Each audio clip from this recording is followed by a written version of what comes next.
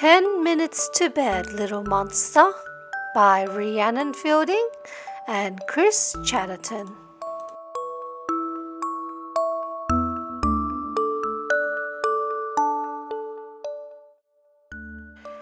Have you ever heard a monster with horns upon her head creeping down the creaky stairs instead of going to bed? Have you ever seen her gleaming eyes or heard her fearsome growl? It's ten minutes to bedtime, but someone's on the prowl. It's Belch, the smallest monster with a rumbly, hairy belly. It's nine minutes to bedtime, and she's downstairs slurping jelly.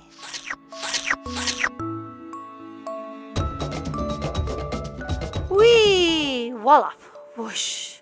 Why is there so much noise? It's eight minutes to bedtime. Belch is playing with her toys.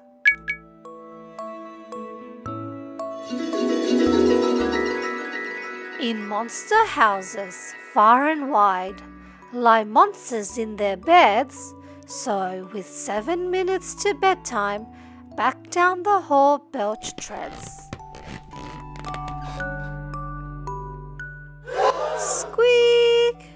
The window, dark shadows across the floor. It's six minutes to bedtime, but who's bursting through the door?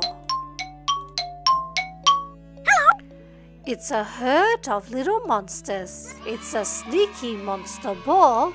It's five minutes to bedtime. They're not sleepy, not at all.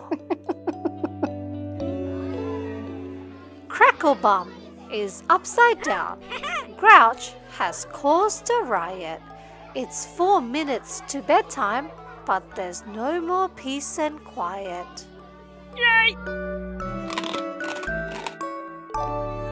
Squelch is sliding round on slime. Gloop's making dreadful smells. It's three minutes to bedtime.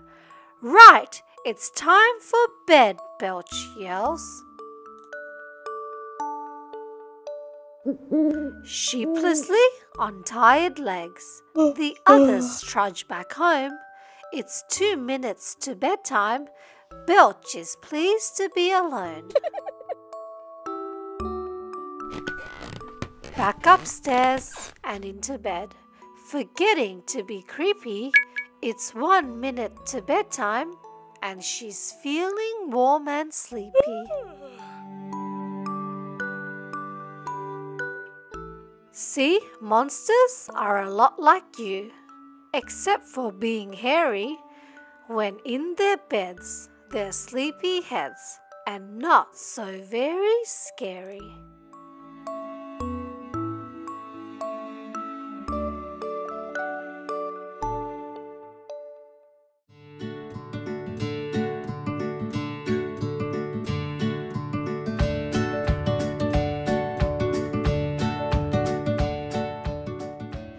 We hope you enjoyed the story. Subscribe, and we'll see you next time for one more book.